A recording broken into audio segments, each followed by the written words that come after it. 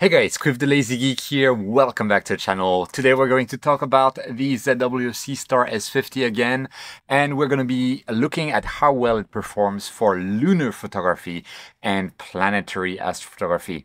And uh, this is because this has been asked again and again and again in comments or in direct messages to me.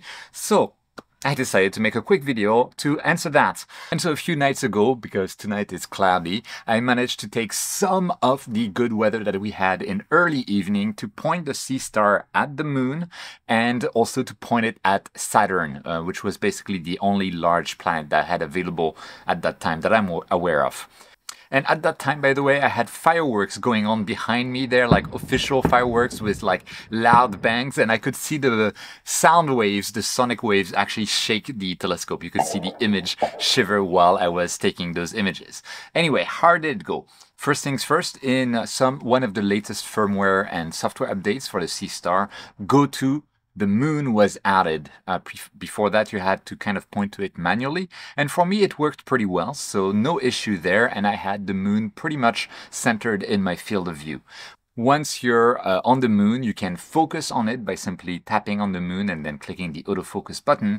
And after that, what I did is take a video of the moon. And you can see on the screen right now, this is what the video looks like. If you zoom into the moon, you can see that there are kind of waves of air like the, the moon is like shivering shimmering uh, because of the atmospheric turbulence and this is why i'm taking a video i'm also taking a video of the moon with the raw video mode activated which means that the image that's being taken is uncompressed and actually technically it is also still Bayered or Bayered, which means that we get the raw image from the sensor. So the image actually appears to be black and white, but we'll be using some processing software, which is free to debayer it find the best exposures among the video that we took. So basically the, the exposures where the moon is affected by the atmospheric turbulence the least and then stack those exposures together before we can sharpen the image. So I'll go through that process very quickly with you guys in a moment.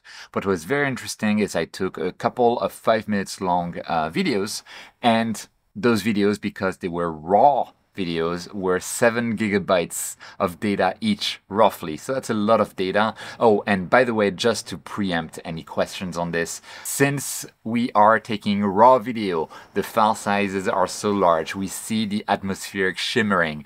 The video feed was actually disturbed by the sound waves from the fireworks behind me.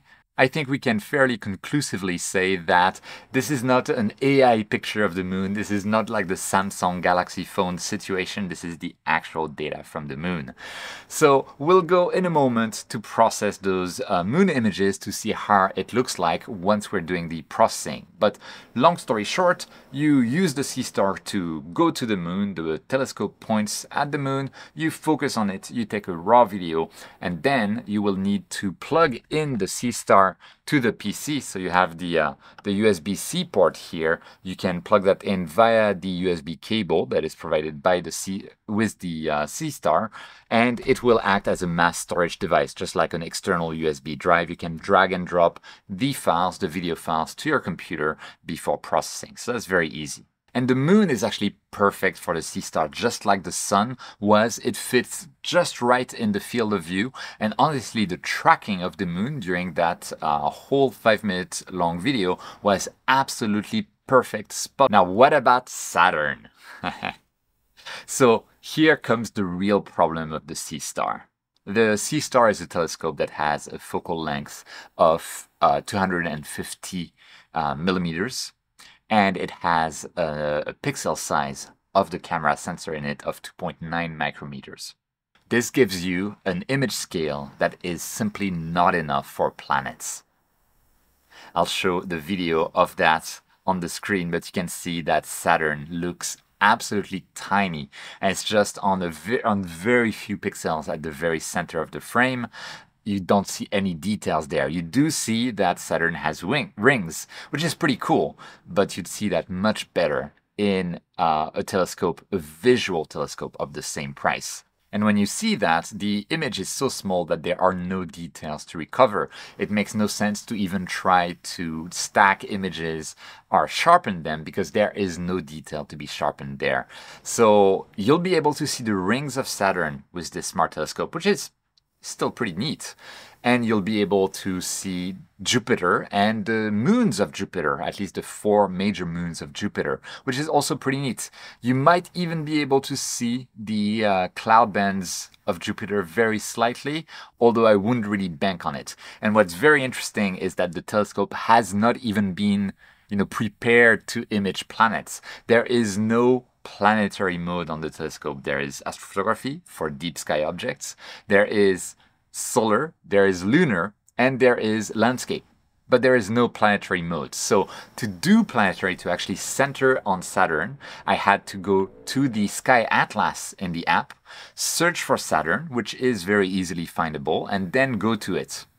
And then I cannot choose the astrophotography mode because it is made for deep sky astrophotography and it will take long exposures, which is not suitable for planets. So I had to use the lunar mode. So it's kind of like working around the way that the scope works to take some images of Saturn in this case. But since so many people are interested, I feel like it would be good for ZW to just add like a planetary mode, but maybe as an advanced feature or as, you know, just in case because you asked for it kind of feature you're not going to see much. Honestly, if you're interested in planetary, you want to get a proper visual telescope rather than a smart telescope. If you spend the time through a visual telescope looking at a planet, you see more and more details. I spent literally hours looking at Jupiter, looking at the cloud bands of Jupiter. You can see Jupiter rotating slowly on itself. You can see the moons of Jupiter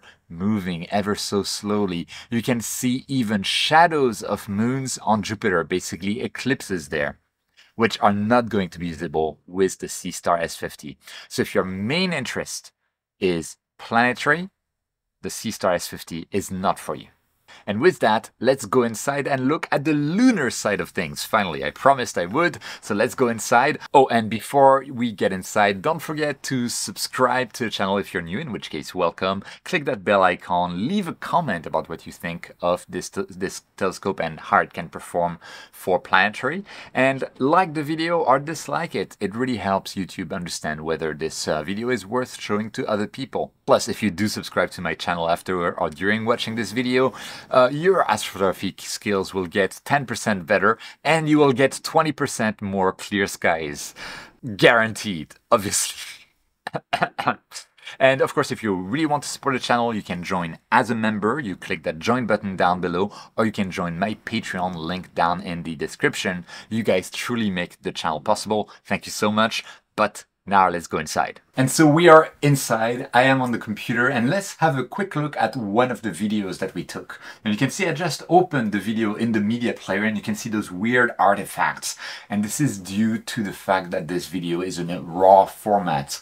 Basically the Seestar took the output from the sensor and just dumped it into a video file with no processing whatsoever, including a very critical step called debayering, which allows you to actually get the color data out of your camera. Don't worry, we can get rid of that very easily by simply using free software. The software I used is AutoStakkert. I'll put links down in the description.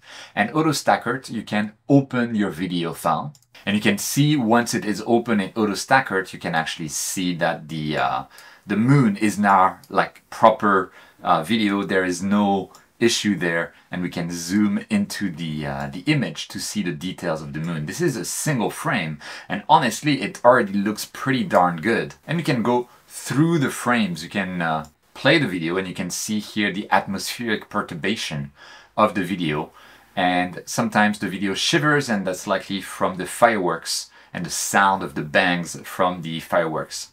But you can see this is there, that's like the moon kind of like blobbed out. That's from the, uh, the fireworks. But you can see the impact of the atmospheric tur turbulence.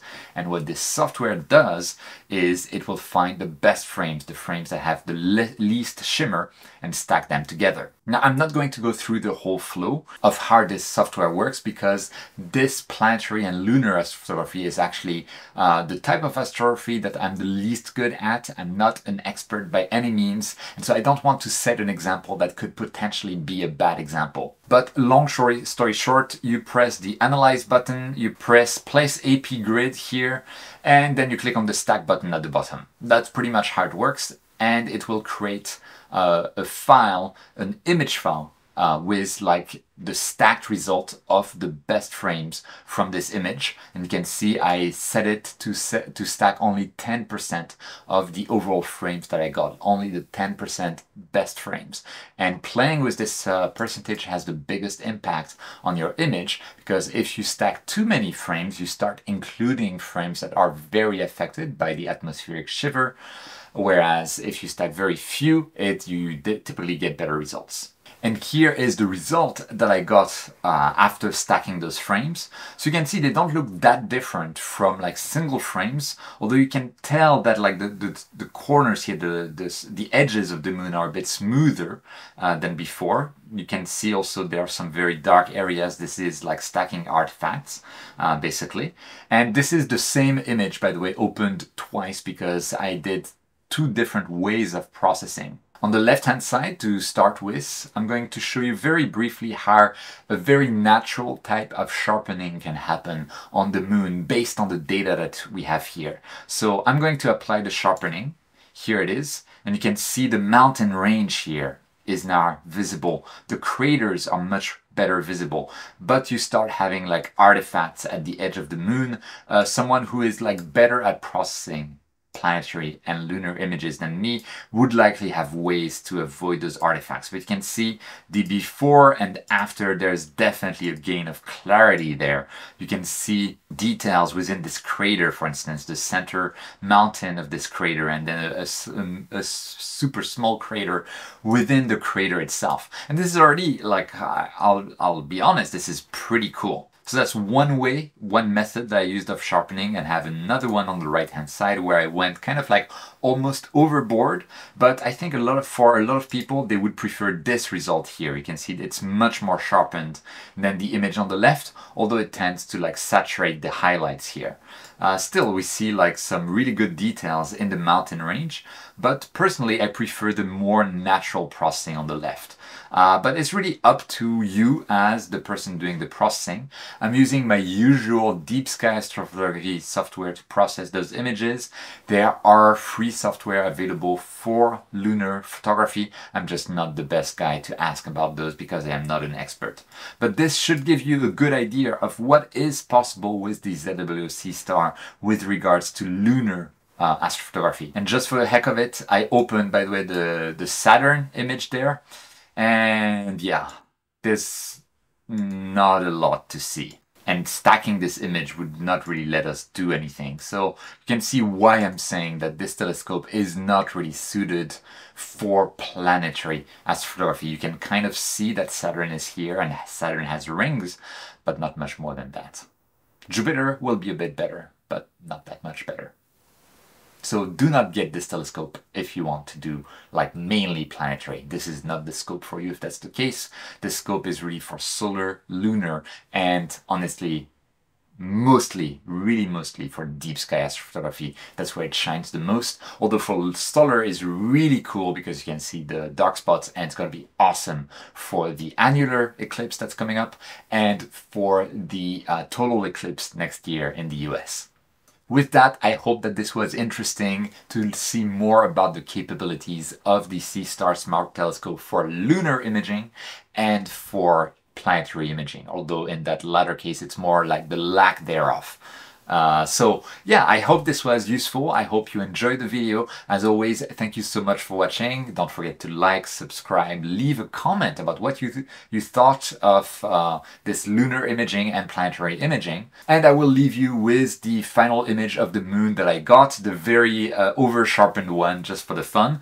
Uh, so feel free to watch it as it zooms in, but more important than that, don't forget whenever you can to look up at the stars. And I'll see you next time.